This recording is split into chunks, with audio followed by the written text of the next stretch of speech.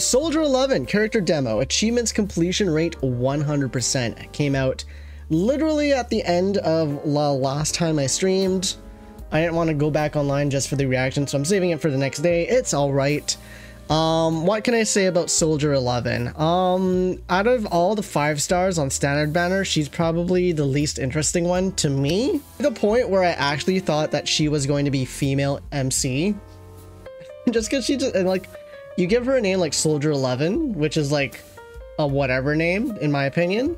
So I kind of just wondered what the heck that was all about. But we're going to go ahead and watch it. Let's see how it is. Let's see if it's any good.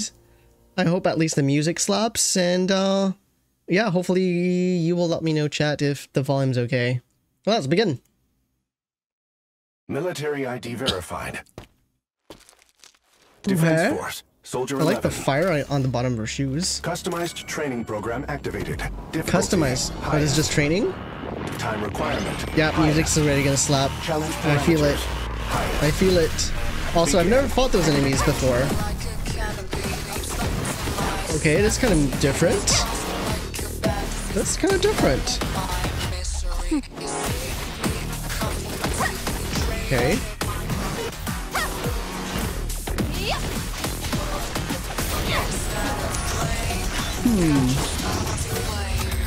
Maybe the music's not slapping as hard. Hold up. Hold up.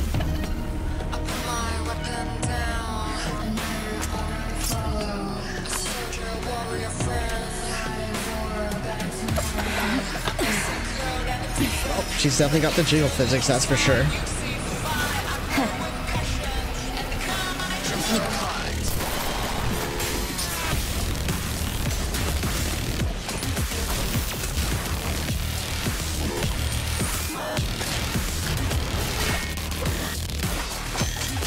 Okay. I mean, she is pretty badass in that. 11. What does the Training numbers mean? complete.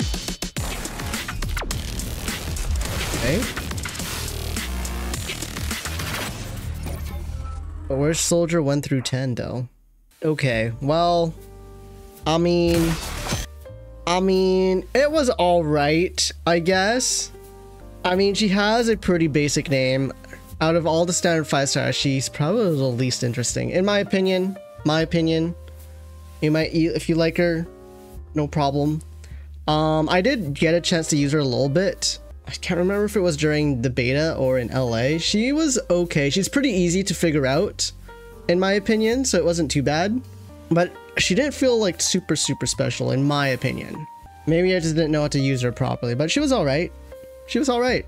Probably the least exciting of all the um, Zenless Zone Zero um, trailers so far, showcasing a character. That one that was like live action, that was probably the worst one out of all of them so far. Um, yeah, their marketing going a little bit down here with their uploads. I'm not gonna lie. They they better pick it up. They better pick up their game. There's still a few that they could. Is there still a few?